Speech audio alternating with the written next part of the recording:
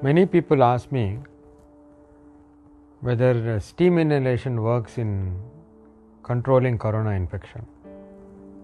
Well, we do recommend uh, steam inhalation uh, for patients with certain respiratory ailments, but ba- mainly to soothe the respiratory tract, symptomatic relief. Having said that, you know, I am a pulmonologist, also a critical care specialist. I've also received training from UK. Whatever said and done, I'm basically an Indian. I trust in ancient wisdom of Indians. What did our uh, grandparents and even now villagers, whenever they catch any uh, you know respiratory infection, especially uh, so-called seasonal flu, what do they do? There will be watering from the nose, redness in the eyes. So in such situations, what do they do? They just boil a vessel of water. In that they add some probably either camphor or a few drops of uh, eucalyptus, and uh, they they just cover themselves with a bed sheet, deep breathing for some time, and many of them they don't require uh, hospitalization.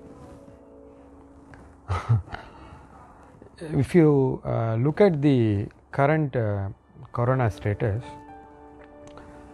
everybody talks about stopping the spread of uh, infection by stopping handshaking, by touching objects. Even if you touch, you have to you know clean your hands with some sterilizing solutions before you take it to the face.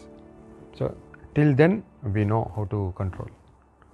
After that, once it enters, uh, actually, we don't have any treatment. Some people may develop infection, some people become asymptomatic, continue to be asymptomatic, but it is it has been definitely proved that uh, the virus lives lesser time when the temperature is more. Similarly, once the virus reaches uh, the nose or throat, in this passage, so nasopharynx that is what we call it, it lives for uh, it stays for a few days. That is what is called as incubation period. Like uh, from the, the period may last from six days to uh, two weeks, during which time the virus attaches itself to the uh, the inner walls of the respiratory tract, settles down, slowly it starts stabilizing itself, and then grows. Then it goes down into the lung to create infection.